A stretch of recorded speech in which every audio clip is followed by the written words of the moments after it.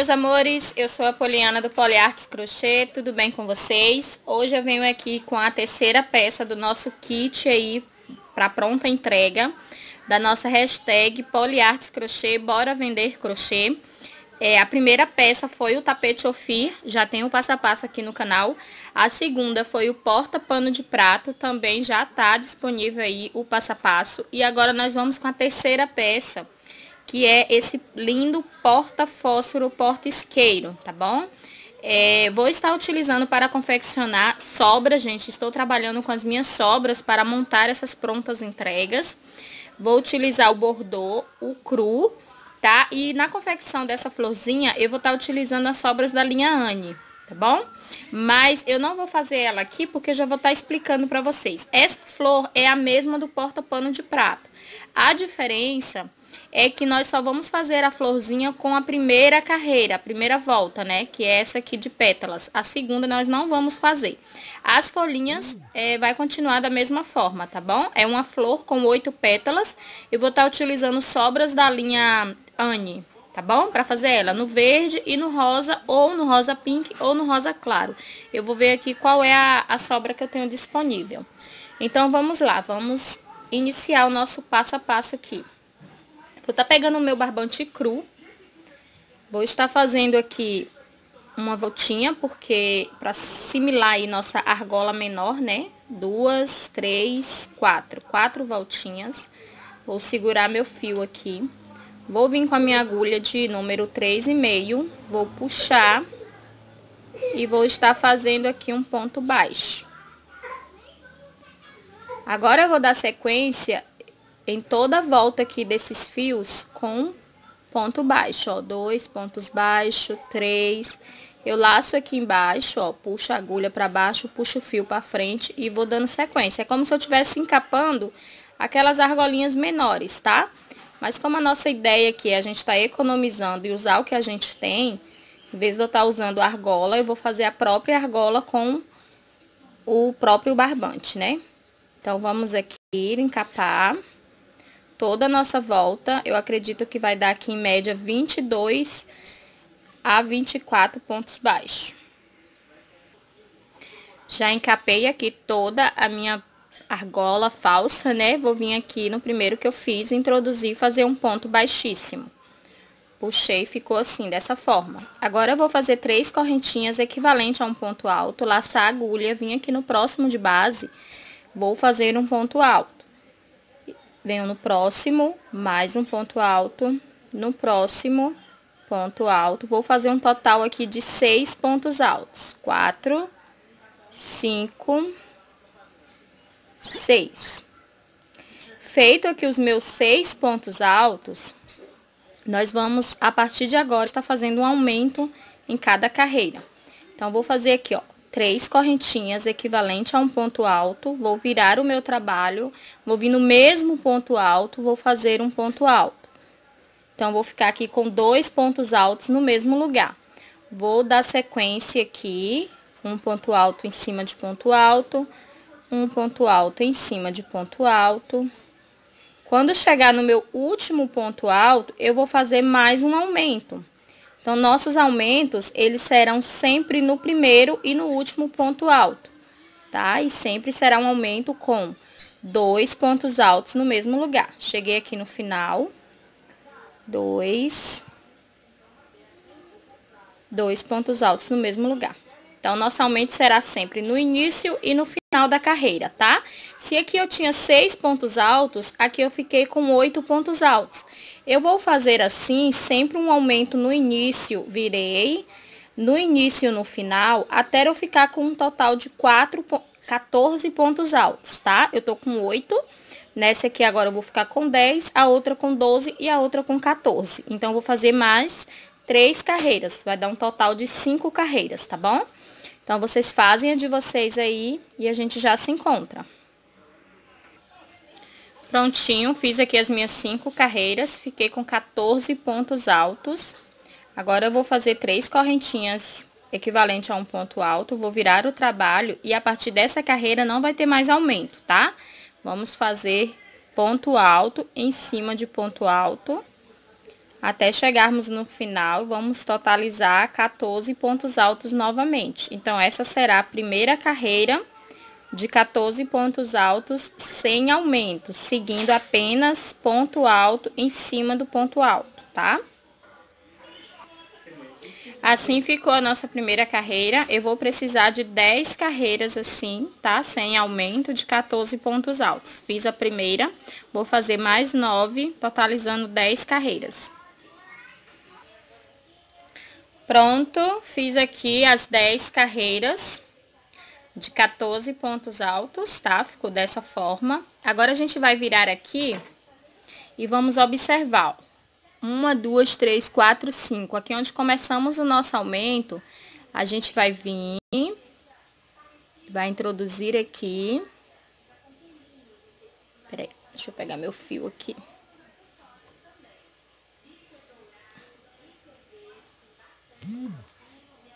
Cadê? Voltei aqui. Né? Na quinta volta foi onde terminamos aqui o aumento. Vou introduzir pra gente fechar aqui a lateral aqui da nossa bolsinha, tá? Agora, eu vou virar aqui no meu trabalho, vou fazer uma correntinha, vou virar aqui e eu vou fechar da seguinte forma. Vou introduzir aqui, ó, onde tem os pontos altos. Nós vamos puxar, fazer um ponto baixo. Aonde tem essa emenda aqui, ó, de um ponto alto pro outro, a gente vai pôr Venho cá no outro. Peraí, deixa eu pular aqui. Venho aqui, venho cá no outro. Puxo. E faço um ponto baixo. Então, é só um ponto baixo, tá?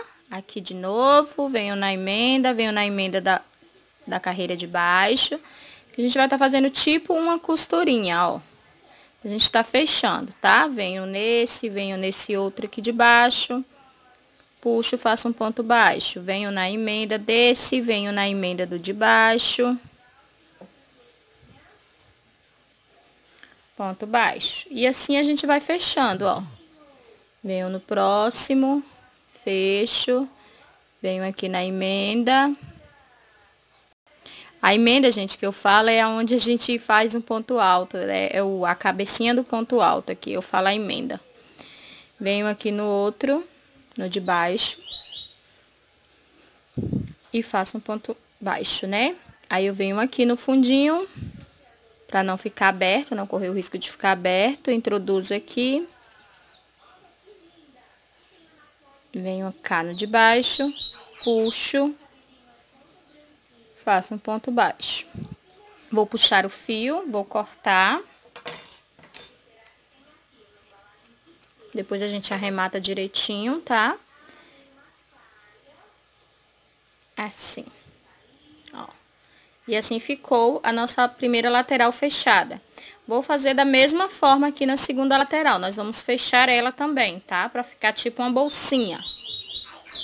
Então, vou fechar a minha aqui, vocês fecham a de vocês. Prontinho, já fechei as duas laterais aqui da minha, nossa bolsinha, né? Olha como é que ficou. Agora, eu venho aqui, ó, no pezinho, bem no fundo aqui. Vou introduzir a agulha e vou começar com o fio bordô. Vou fazer aqui três correntinhas, equivalente a um ponto alto. Vou laçar a agulha aqui dentro do mesmo espaço, eu vou colocar mais dois pontos altos. Vou totalizar aqui três pontos altos no mesmo lugar. Nós vamos fazer o contorno com o nosso ponto tombadinho, né? Vou pular uma, duas, três. Vou deitar aqui, ó, pra mim ter uma noção. Pulo uma, dois, no terceiro, faço um ponto baixo. Faço três correntinhas para subir, laço e vou fazer mais dois pontos altos no mesmo lugar. Então, vou ficar com três pontos altos aqui pulo um, dois de base, no terceiro eu venho e faço um ponto baixo. Assim eu vou fazer todo o contorno aqui dessa bolsinha. Gente, esse porta-fósforo, ele é muito bom, porque você pode usar qualquer sobrinha de fio que você tenha aí na sua casa. Então, dá de você pegar as sobras, montar aí os seus porta-fósforo, porta-isqueiro, deixar pronto. E aí você vai montando nos seus kits. Não precisa ser necessariamente nessa ordem desse kit aqui, tá? Vocês podem estar tá pegando esse porta-fósforo, por exemplo, e colocando em um kit aí com um pano de prato e um porta-pano de prato. Enfim, vocês fazem aí vários porta-fósforo, deixa pronto e depois vocês só vão montando aí os kits de vocês. Ó, cheguei aqui na lateral. Vou continuar aqui com o ponto tombadinho. Né, ó. Nós vamos fazer todo o contorno. Três correntinhas, dois pontos altos no mesmo lugar. Como aqui não tem os pontos pra gente contar de base, a gente só vai só tá deitando aqui, ó. Vamos deitar e vamos aqui no próximo e já fazer o ponto baixo três correntinhas. Ó, venho aqui no mesmo lugar, faço mais dois pontos altos. Deito aqui e vai ser aqui. Olha só como é que tá ficando, tá vendo? Uma, duas, três. Venho aqui no mesmo faço dois pontos altos. Aqui eu cheguei já na minha argolinha, ó. Introduzi aqui, já cheguei aqui. Aqui eu tenho duas opções. Eu posso continuar fazendo ponto tombadinho, ou eu posso só cobrir aqui com pontos baixos, tá? Eu vou continuar fazendo os pontos tombadinho, vou fazer aqui, vou fazer todo esse contorno e vou chegar aqui no final e finalizar com vocês, tá bom? Olha só, eu voltei aqui pra me mostrar pra vocês que aquela sobrinha minha chegou ao fim, né? Tá faltando aqui pra poder finalizar. Eu peguei uma outra sobra que tinha e eu vou fazer o um nó. Deixa eu ver se você dá pra vocês verem, gente. Essa técnica eu aprendi aí com a nossa amiga Temes, do Coisa Mais Amor, crochê Coisa Mais Amor. É muito bom pra quem trabalha com sobra, porque fica um nó praticamente invisível. Então, a gente pega o fio assim, ó, que sobrou, a gente pega o outro, Bem aqui nessa lateral aqui do lado, fazemos um nó. Se vocês podem fazer, gente, com... Quando tiver duas cores também, tá? Você faz isso antes. Quando você termina, você não tem nó pra arrematar. Assim. Aí eu venho aqui, pego essa outra ponta que sobrou, venho nesse aqui também. E dou um nozinho.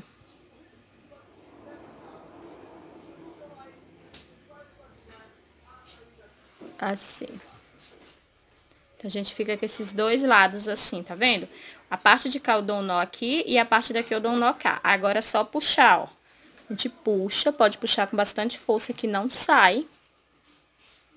E só cortar aqui agora esse excesso de fio que fica.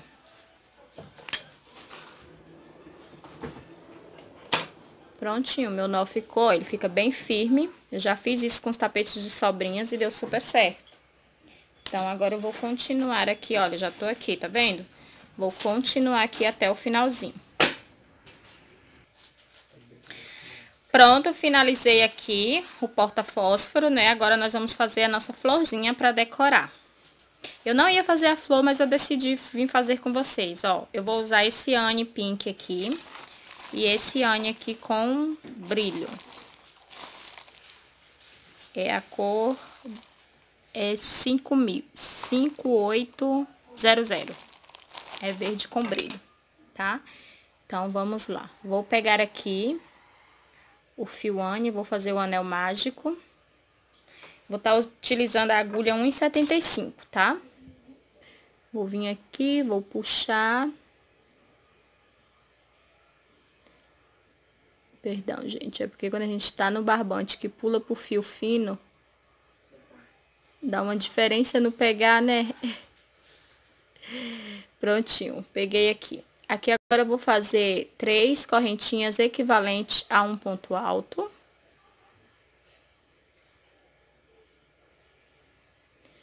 E vou fazer aqui dentro do anel mágico 16 pontos altos, tá? Tô no segundo. Gente, a diferença na mão é, é enorme. Você tá no, no barbante, passa pro fio, a mão chega a ficar pesada, sabe? Mas vamos lá, vamos fazer aqui 16 pontos altos, tá? Feito aqui os 16 pontos altos, eu vou puxar aqui esse fio do anel mágico pra gente fechar o círculo. Quem não consegue fazer um anel mágico, gente, e pode começar com seis correntinhas, tá? E fechar, e aí iniciar os 16 pontos altos. Assim ficou. Agora, eu vou fazer três correntinhas, vou pular um ponto alto aqui na base e vou vir no próximo fazer um ponto baixo.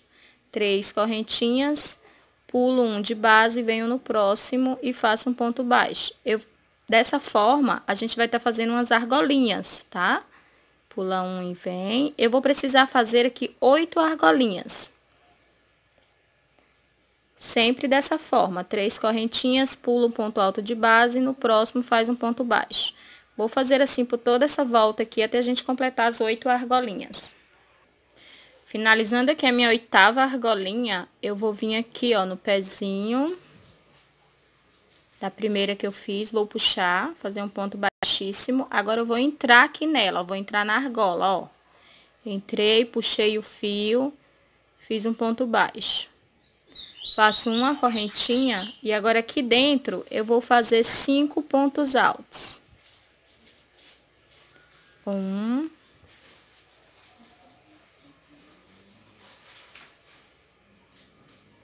Dois três, quatro, cinco. Fiz os cinco pontos altos, eu faço uma correntinha, venho dentro aqui da mesma argola e faço um ponto baixo. Então, vai ficar assim.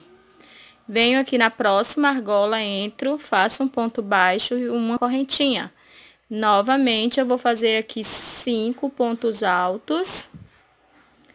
Depois que eu finalizar os cinco pontos altos, eu vou fazer uma correntinha, vou voltar embaixo na mesma argola e vou fazer um ponto baixo. E assim eu vou indo até completar as oito pétalas da flor.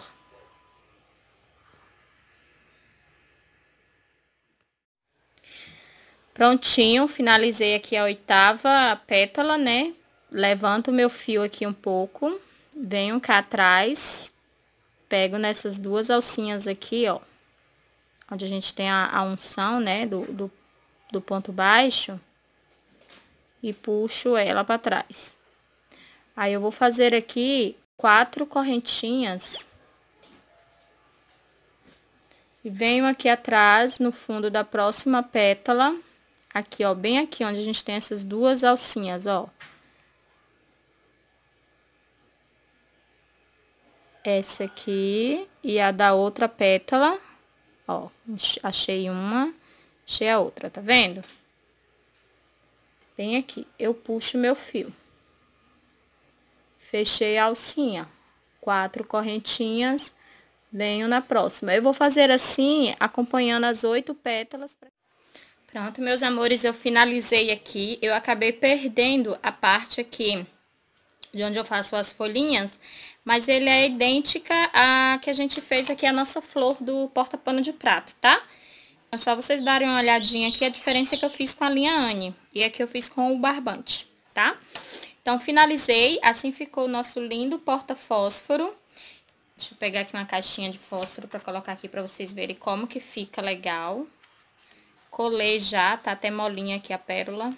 Esse eu usei a pérolazinha menor. Tá um pouco mole aqui, eu tô tendo um pouco de cuidado pra colocar, que ainda não secou. Ó, assim fica o nosso porta fósforo, tá? O porta isqueiro. Esse aqui ficou um pouquinho maior, por quê? Esse aqui eu fiz com 10, 10 carreiras, né? Pra gente virar. Esse aqui não, esse aqui eu fiz com 12 carreiras. Então, ele cabe, a caixa de fósforo ainda ficou mais folgadinho aqui, caso a o cliente queira colocar também um isqueiro, tá? E assim vocês podem fazer. Se vocês quiserem aumentar, fazer com que essa bolsinha fique maior, é só vocês aumentarem aquelas carreiras de pontos altos, de 14 pontos altos sem aumento. Então, a partir da décima carreira, vocês podem estar aumentando 12, 14, 16, sempre em números pares. E aí essa bolsinha sua vai ficar mais compridinha. Talvez você enlarguecendo ela, ela vai estar tá cabendo é, uma vela, o fósforo, o isqueiro, para que a cliente guarde tudo, para quando faltar energia, alguma coisa assim, ela já tenha ao seu alcance, né? Já esteja ali tudo guardadinho. Então eu espero muito, gente, desejo muito do fundo do meu coração que vocês tenham gostado desse passo a passo de hoje, tá? Lembrando que essa é a terceira peça aqui do nosso primeiro kit aí das prontas entregas, né? O nosso kit, bora vender crochê. Vamos pegar todas as nossas sobras, não vamos comprar material agora. Vamos utilizar o que temos entre uma encomenda e outra entre um trabalho e outro, vamos sim já produzir os nossos kits, tá? E deixar aí de pronta entrega, para quando chegar os dias das mães, é, nós não ficarmos é, sem vender, né? Ah, eu poderia ter vendido mais, mas eu não tinha kits prontos. Então, essa é a nossa primeira ideia aí de kits, tá? Espero muito que vocês tenham gostado. Peço novamente aí, quem estar aqui pela primeira vez, viu esse vídeo aí por indicação de alguém, ou até mesmo aqui do YouTube, e ainda não se inscreveu, se inscreva aqui no nosso canal. Vamos ajudar nossa família a crescer cada vez mais. Compartilhe, deixa aí o like de vocês, tá bom? O like de vocês é muito importante.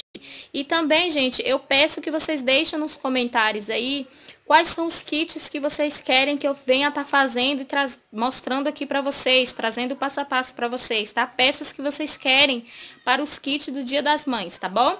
Eu vou estar tentando trazer todas as peças do kits que eu montar, para que assim vocês tenham acesso em um local só de todas as peças, tá bom? Para vocês confeccionarem.